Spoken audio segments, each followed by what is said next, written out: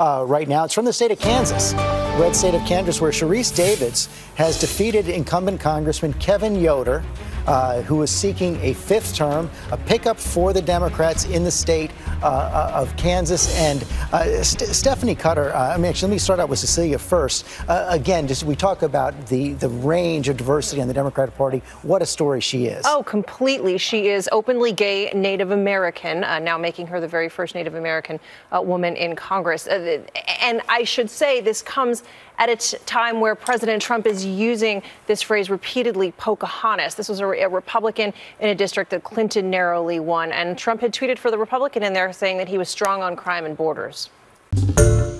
Hi, everyone. George Stephanopoulos here. Thanks for checking out the ABC News YouTube channel. If you'd like to get more videos, show highlights, and watch live event coverage, click on the right over here to subscribe to our channel. And don't forget to download the ABC News app for breaking news alerts. Thanks for watching.